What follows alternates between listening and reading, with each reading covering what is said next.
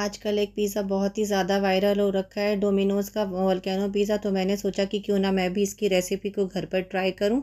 तो मैंने इसको बनाया, सच में बहुत ही कमाल का बना और इसके अंदर से जो चीज़ निकल के आ रहा था, वो भी बच्चों को बहुत पसंद तो आप इस रेसिपी को कब ट्राई कर रहे हो तो मुझे कमेंट करके ज़रूर बताइएगा। यहाँ पर मैंने ढाई ग्राम मैदा लिया है, पच्चीस ग्राम बटर पंद्रह ग्राम मिल्क पाउडर लेंगे, दस ग्राम हम शुगर ले लेंगे।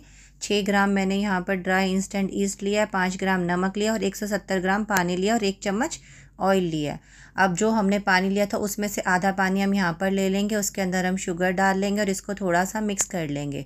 मिक्स करने के बाद जो ईस्ट लिया है हमने, वो हम इसके अंदर डाल देंगे और एक चम्मच तेल डाल देंगे और इसको अच्छे से मिक्स कर लेंगे और इसको हम फूलने के लिए छोड़ देंगे। जब तक हमारा ईस्ट फूलेगा, तब तक हम बाकी की तैयारी कर लेते हैं।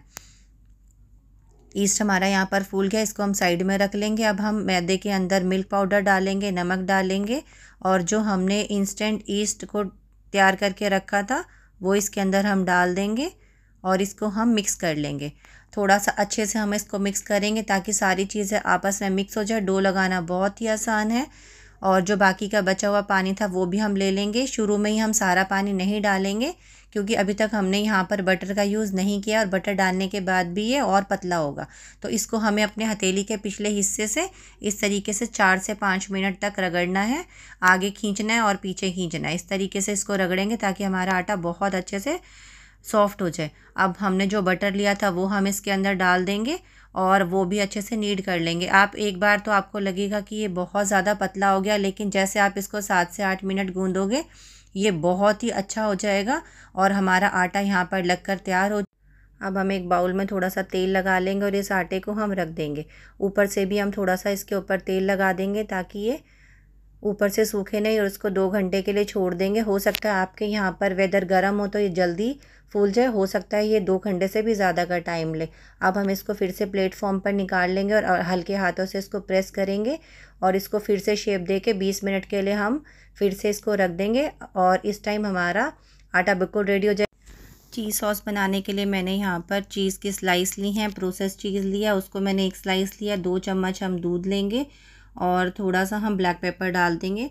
इसमें हम डाल देंगे थोड़ी सी औरिगेनो सीजनिंग और इसको हम मिक्स कर लेंगे और इसको हम माइक्रोवेव कर लेंगे। माइक्रोवेव करने के बाद मैं देख रही हूँ कि ये थोड़ी सी गाढ़ी लग रही है मुझे चीज़ सॉस तो मैं इसमें एक चम्मच दूध और डाल और हमारी वॉलकैनो में डालने के लिए चीज़ सॉस बिल्कुल रेडी है। अब हमने यहाँ पर सब्ज़ियाँ, मैंने यहाँ पर टमाटर, प्याज और शिमला मिर्च ली हैं। आप कौन ले सकते हो? अपनी पसंद से कोई भी सब्ज़ियाँ आप यहाँ पर ले सकते हो। अब हम आटे को बाहर निकालेंगे और एक डो कटर से हम इसको जितना बड़ा, आपको छोटा या बड़ा जितना भी पिज़्ज़ा बनाना उस हिसाब से हम डो निकालेंगे और उसको हम एक शेप दे लेंगे। शेप देने के बाद हम प्लेटफॉर्म पर थोड़ा सा सूखा मैदा डालेंगे और इसको बेल लेंगे। आप चाहो तो हाथ से बेल सकते हो, मैं बेलन से बेल रही हूँ, आपको जितना छोटा बड़ा जैसा भी बनाना है, उसके अकॉर्डिंग आप ले सकते हो। मैंने इस तरीके की प्लेट का यूज़ किया या फिर आप किसी भी प्लेट का यूज़ कर सकते हो। एक कटोरी लिया अगर आपके पास मेलामाइन की कटोरी नहीं है तो आप कोई भी दूसरी कटोरी अपने घर में से ले सकते हो और इसको इस तरीके से सेंटर में रख कर हम इस रोटी को इसके ऊपर रख देंगे। ऊपर से हम ये पिज़्ज़ा सॉस अप्लाई कर देंगे, सारी सब्ज़ियाँ डाल देंगे। यहाँ में मैं शिमला मिर्च लगा रही हूँ, टमाटर, प्याज और आपको अगर कोई और सब्ज़ियाँ यहाँ पर पसंद हो तो वो भी आप ले सकते हो। सब चीज़ें हम अप्लाई कर देंगे। उसके बाद हम इस पर खूब सारा मोज़रेला चीज़ डाल देंगे। मोज़रेला चीज़ डालने के बाद हम इसके ऊपर प्रोसेस चीज़ डाल देंगे। और इसको मैं कद्दूकस करके डाल रही हूँ और हमारा यहाँ पर पिज़्ज़ा जो है बिल्कुल रेडी है। चीज़ सॉस के अंदर अब मैंने थोड़ी सी केचप डाल दिया जिससे कि इसका फ्लेवर बहुत अच्छा हो जाएगा। आप भी ट्राई कर सकते हो। और जो हमने चीज़ सॉस बनाई थी, उस वॉलकैनो के अंदर हम डाल देंगे। और ये देखिए हमारा यहाँ पर वॉलकैनो पिज़्ज़ा बिल्कुल रेडी इसको हम 200 डिग्री सेल्सियस पर 20 मिनट के लिए दोनों रोड ऑन करके बेक कर लेंगे और हमारा वॉलकैनो पिज़्ज़ा यहाँ पर बनकर बिल्कुल तैयार है। सच में ये बहुत ही कमाल का बना था और इसके अंदर जो चीज़ सॉस थी वो भी बहुत ही टेस्टी लग रही थी। बच्चों को ये फ्लेवर बहुत ही पसंद आया और मैंने इसी सेम डो से एक अपना नॉर्मल रेगुलर पिज़्ज़ा तो मैंने यहाँ पर एक बेस को बेल लिया, उसमें फॉक से इस पे, इसको प्रिक कर लिया। ऊपर से हम पिज़्ज़ा सॉस लगा देंगे। सब्जियों में, मैंने टमाटर, प्याज और शिमला मिर्च ली हैं, ऊपर से हम मोज़रेला चीज़ डाल देंगे। और फिर उसके ऊपर मैं कद्दूकस करके अपना प्रोसेस चीज़ डाल दूँगी।